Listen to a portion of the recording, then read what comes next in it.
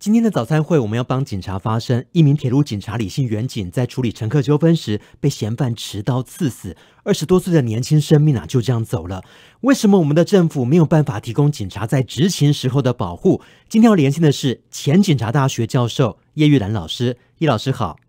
呃，主持人好，还有各位听众朋友，大家好。好，老师，根据了解哦，这名嫌犯因为跟列车长发生了纠纷，结果呢，远警获报前往处理，嫌犯就拿出刀子往他身上刺。那么，为了帮乘客争取逃跑的时间，他是忍痛上前呢，抓住嫌犯的手，近身肉搏，压制到支援的警力赶到，但是自己因为失血过多还是不治哦。那么，民众听了都很气愤哦。老师认为这起事件到底要检讨的地方在哪里呢？呃，我想冰冻三尺非一日之寒哈。李承汉，呃，七月十二号才会满二十五岁啊。呃，因为现场，呃，过程啊，整个，呃，他在制服这个逃票犯的一个呃过程啊，都已经在网络上都在传了。对。所以，我觉得我们呃国人呢，有很多人都是陪着。陪着李承汉在与生命做搏斗啊，但是没有想到，最后他是在清晨，就在早上的这个八点十分，还是宣告不治啊。那当然，呃，事情发生了之后，我们看到，呃，上次呃总统蔡英文啊，或者是林佳龙，甚至呃，我听说苏贞昌苏院长啊，都针对了这起。呃，不幸事件呢，表示悼念啊，也都呃指示警政署应该要应该要这个加强严谨的执勤安全哦。对，我想加强严谨的执勤安全这几个字，呃，其实讲起来好像八个字很简单哦。嗯。可是要落实真的很不容易哦。我为什么这么说呢？因为呃。我们整个大环境啊，跟现在台湾的警察，其实过去几十年来，随着我们整个民主制度的发展啊，呃，我们的警察也跟着转型了啊。在台湾的呃这个警察的执勤的时候，其实可以说是这个爷爷不疼姥姥不爱的啊。我们常常有警察同仁呢追车殉职啊，酒驾的啦，或者是有其他。呃，重大犯罪嫌疑呀，或者毒贩呢，去追车，但是因为我们的装备实在是不好，是。我们的警车啊，呃，不会像这个很多先进的国家啊，他们针对警察他们的执勤的需要，他的呃警车哈是要比一般一般人用的车还要更好一点啊，它的安全系数要高一点，可是。我们因为警察预算不足哦，嗯，经常都是要呃寻求低价标，所以呃常常这个警车本身就是很差的。对，第二个是我们其他的警察的应勤的装备配备也不足，我们大概除了警棍啊，就是警棒，这个伸缩伸缩式的警棍哈，嗯，跟呃警枪之外啊，嗯，警察没有其他的配备了，嗯，但是我们的警棍呢，呃。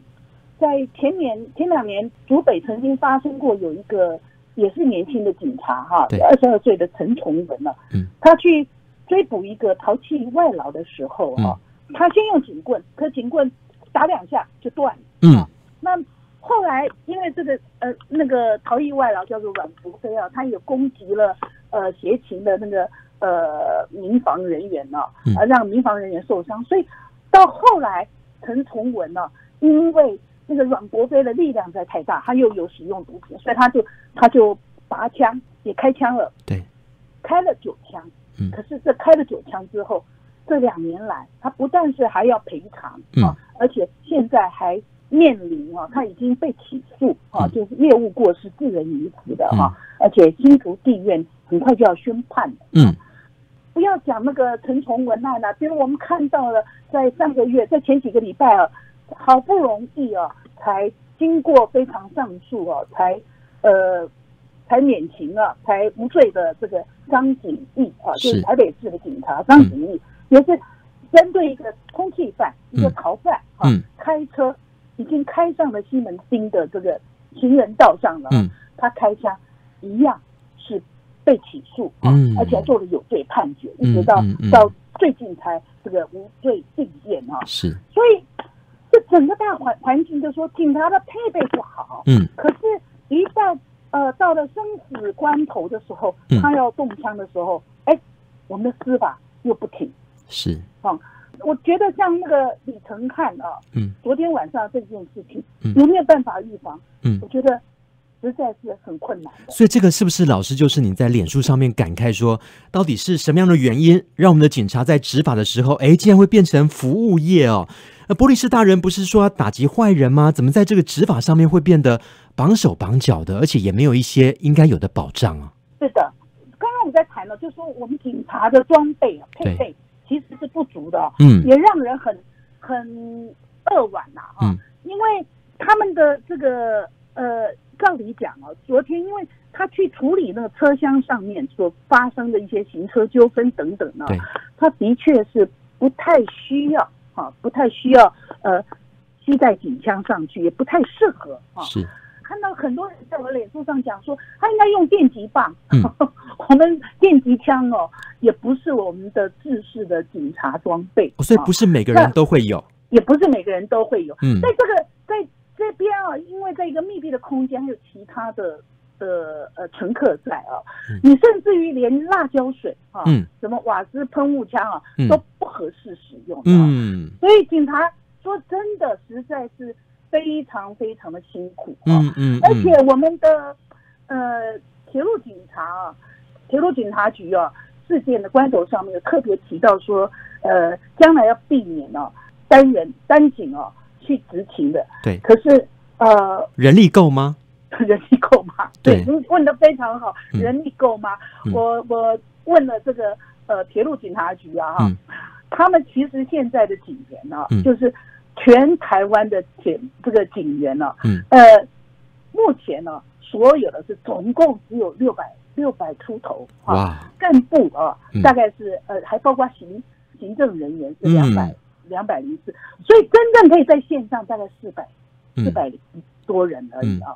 那么我们的铁路班次如此之之非常频繁。呃繁复啊，然后呃，基本上大概类似的事件二十四小时都有可能发生，对，有没有那么多的警力可以、嗯。可以这样的呃去执行嗯。双人式的这个，我不知道哈。嗯嗯，不过不过我特别要提提到一件，我今天还呃，其实我呃昨天我收到很多的影片呐、照片，其实有一张照片让我看得非常非常难过，我要嗯。特别把它贴在我的脸书上是。哈、是那张照片是呃，当这个李承翰跟那个呃郑贤哈、正在搏斗的时候啊，嗯。那地上已经是一滩血了嗯。啊，呃，可是我们还看到有四位还是五位啊，嗯。乘客，嗯，年轻的乘客嗯。啊，在那个地方是拿着手机在做现场的录影。嗯啊如果这些年轻的乘客啊，嗯也注意到说他是手上就拿一把刀了。不过我们因为郑捷事件之后啊，对，可能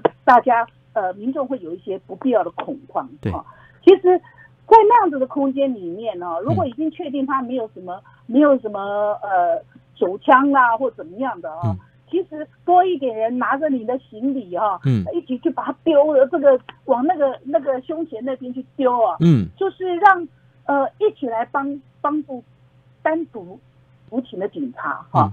我觉得那样子的场面啊，会让你觉得、呃警察是是非常难为啦，对，因为其实就是一个恶性循环哦。也许他在执法的时候，因为刚刚老师呢也讲了很多的案例，他在执法的时候呢也有一些顾忌在。那我相信，其实社会上哦，呃，我觉得还是非常多的啦，就是要支持警察去执法。但是政府听到了吗？现在他们说争取要最优的抚恤，这有什么用呢？一条年轻的生命就这样没了哦。那还有心血敢投身警察这个职务吗？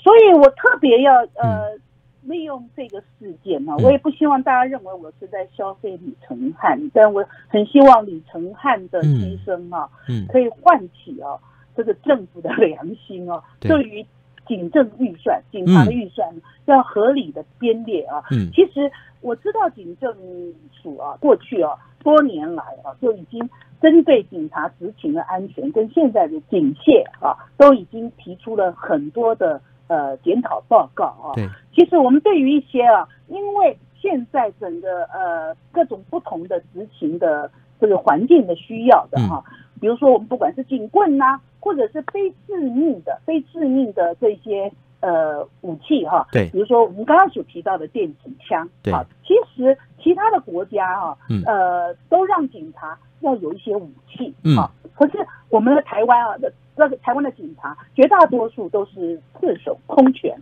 啊，嗯。去面对这些挑战。嗯，那更重要的是，我们的政府的态度要出来是。啊，我们的司法对于这种因公执勤的警察对。啊，他常常的法律不做，司法不做他们的后盾，嗯。其实这是让让很多警察，就算有需要啊，已经达到了生死攸关的关头了，对，嗯还不敢使用警戒，就怕到时候又是说我们逾越的这个比例原则。老师的意思啊是说那，台湾讲人权、讲民主，但是其实法治也很重要，对不对？是的，是的，嗯嗯嗯嗯嗯。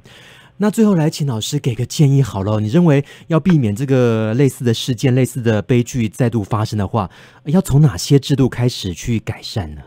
我还是希望啊，嗯。政府能够给警察啊，嗯。呃，合理的工作的条件是。啊，那要有法律的支持，然后还要、还要给他们呃合理的一些应急的配备。是，好，避免他们成为他们本来要执行公权力的，反而是成为公权力之下的一个弱势的族群哦。好，因为时间的关系，我们今天只能跟前警察大学教授叶玉兰老师聊到这边。非常谢谢叶老师，谢谢您，谢谢。OK，好，谢谢您。